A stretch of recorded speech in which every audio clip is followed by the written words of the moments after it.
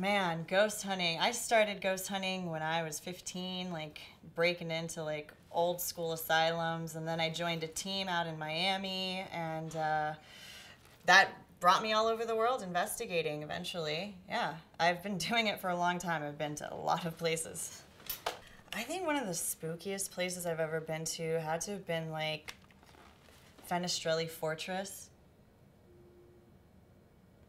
um, which was uh, in, in Italy. It's the second largest wall ever built uh, outside of the Wall of China.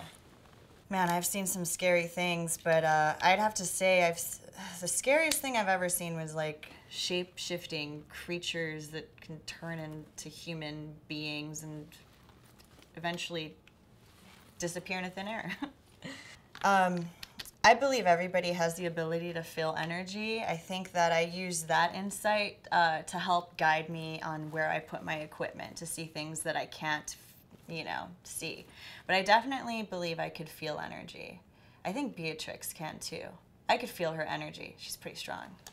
You know, I think Bea did a pretty good job ghost hunting tonight. Um, she seems to have like a real knack for communicating. Um, so I was really impressed with her skills. I think she did a great job. I have to say, Zola was getting a knack for it. I, I'm not too sure about Beatrix's boyfriend. He's, I don't think he's cut out for this kind of work. Um, what do you know about that James guy, though? He's kind of cute. There's something about that guy.